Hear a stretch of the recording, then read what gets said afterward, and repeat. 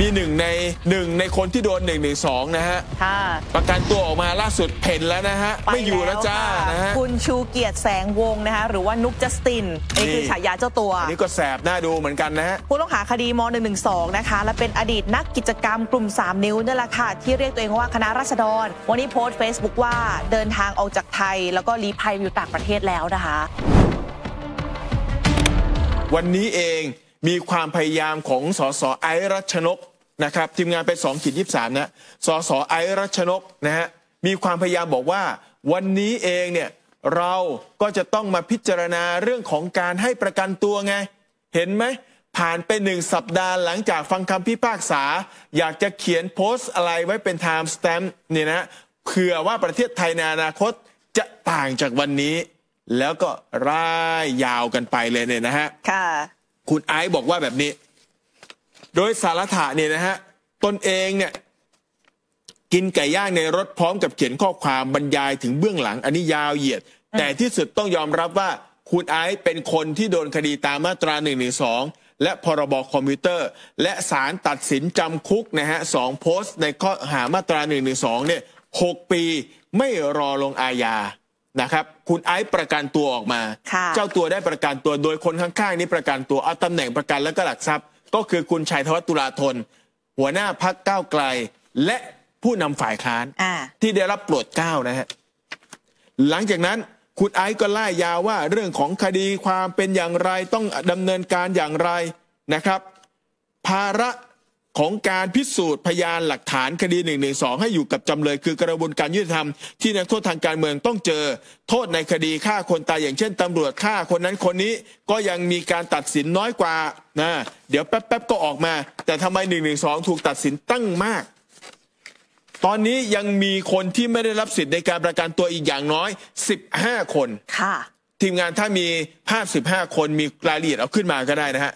นี่นะครับ พยายามไปย่อยดูว่าสิ่งที่คุณไอซ์พูดถึงเนี่ยมีใครบ้างที่ไม่รับการประกันตัว ยอมรับว่าคุณไอซ์ได้ได้ประกันตัวนะฮะค่ะแต่คนที่ยังไม่ได้เนี่ยอย่างเช่น ทนายอานนท์นำพา ตอนนี้ศาลตัดสินแล้วนะฮะจำคุกโดยคำพิพากษาของศาลแต่ห่วงระหว่างนั้นในห่วงที่พนักงานสอบสวนส่งฟ้อง เบื้องต้นศาลไม่ให้ประกันนะฮะแล้วก็ไปเคลื่อนไหว ที่สุดและศาลก็ให้ประกัน พ้นโทษออกมาไปเคลื่อนไหวทำผิดเงื่อนไขประกันตัว ก็เลยโดนเข้าไปในคุกอีก แต่ที่สุดทำผิดเงื่อนไขการประกันตัวศาลก็เมตตาอะเดี๋ยวรอฟังคำพิพากษาก็เลยมาฟังคำพิพากษาจนที่สุดโดนตัดสิน ก่อนที่เจ้าตัวจะไปฟังคำพิพากษา ยังไปจัดงานปาร์ตี้เพื่อจะระดมเงินบริจาคค่ะรู้อยู่แล้วว่ายังไงเข้าไปโดนแน่ ไม่ได้ออกมาแน่นอน เพราะอะไรฮะเพราะพฤติกรรมของคุณ ไม่ได้ทำแค่กรรมเดียวนะฮะหลายเหตุการณ์ เป็นผู้นำทางจิตวิญญาณ โพสต์ขึ้นเวทีปราศัยโจมตีกล่าวจับจ้วงไม่ได้วิพากษ์วิจารณ์เลย ด่าซะด้วยซ้ำคนที่สองวีรภาพวงศ์สมานน้ำวารุณี แล้วก็วุฒิสงวนนามเกตโสพลอ่านนะฮะที่อดนอนประท้วงเนี่ยนะฮะค่ะอุดมพันนินนะฮะสมบัติทองย้อยนะฮะและก็ทีปกรณ์นะครับอ่าทีมงานต่อเลยนะฮะแล้วก็กัลยาเวหานี่นะฮะเจ้าของ ทวิตเตอร์เอ็กที่บอกว่าแอร์ไม่เย็นค่ะคือยอมรับเองอะยอมรับสารภาพแล้วผมแต่งเรื่องขึ้นมาครับ กุเรื่องขึ้นมา ไม่มีจริงจังเลยแต่งเป็นเรื่องเป็นราวขึ้นมา ที่น่าเจ็บปวดกว่านั้นก็คือว่า คนที่เป็นระดับแกนนำบางคนนี่แชร์ไปอืมแชร์ไปเสร็จแล้วก็มีการบอกว่า อุ๊ยอุ๊ยอุ๊ยอุ๊ย เฟกนิวเหรอ ไม่ใช่ไม่ใช่ มันเป็นการแชร์ข่าวสารในห่วงสถานการณ์ที่คนตื่นตระหนก โอ้โห แท้ไปได้แบบนั้นก็มีนะบางคนค่ะนะคุณเจมส์นัทการคุณจิรวัตรคุณเบกกี้ แล้วก็เยาวชนอีกสองคนนะฮะ รวม 15 คนที่คุณไอซ์รักชนกพูดถึง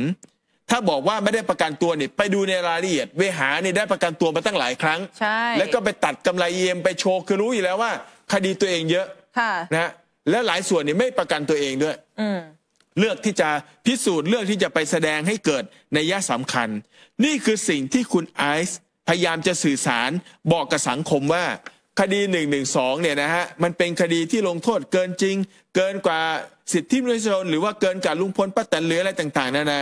ที่สุดแล้วอย่างที่บอกว่า1นึเนี่ยไม่ได้เป็นอันตรายต่อประชาชนทั่วไปเลยนะฮะค่ะเราเราท่านท่านผมหรือว่าคุณป๊อปปี้หรือว่าทุกคนเนี่ยนะฮะ ถ้าไม่มีใครไปจับจ้วงไปล่วงละเมิด ไปด่าสถาบันหรือไปโจมตี หรือไปให้ข้อมูลบิดเบือนกกฎหมายหนึ่งสองทำอะไรไม่ได้ค่ะ อย่างนาราคลิปกระเทยนะฮะที่สุดสารตัดสินออกมาก็ไม่ได้ลงโทษอะไร บริสุทธิ์เพราะสิ่งที่คุณทำเจตนาคุณแม้ในใจเขาคิดว่าเขาอยากจะทำอะไร แต่เอาละเขาอาจจะซ่อนเก่งหลบเก่งศาลท่านก็เมตตายกผลประโยชน์ให้จำเลยนะครับ คนมีพฤติกรรมแบบนี้จะโดนก็ก็คุณทำผิดกฎหมายก็ว่าไป นะประชาชนทั่วไปยังมีกฎหมายหมิ่นประมาทเลยอืมนี่สถาบันพระมหากษัตริย์นะครับ นี่คุณไอซ์มา แต่มีหนึ่งในหนึ่งในคนที่โดนหนึ่งหนึ่งสองนะฮะค่ะ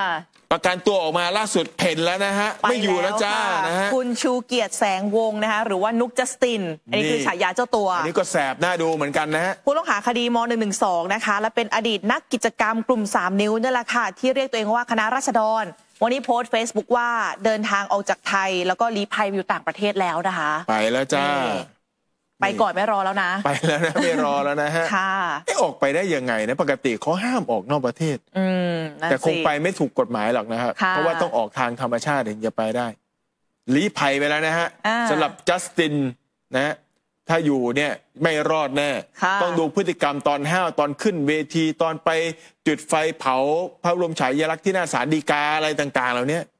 ยุเด็กให้เด็กเขาทำแบบเนี้ยนะฮะ ค่ะแหมวันนี้การเมืองร้อนนะคะ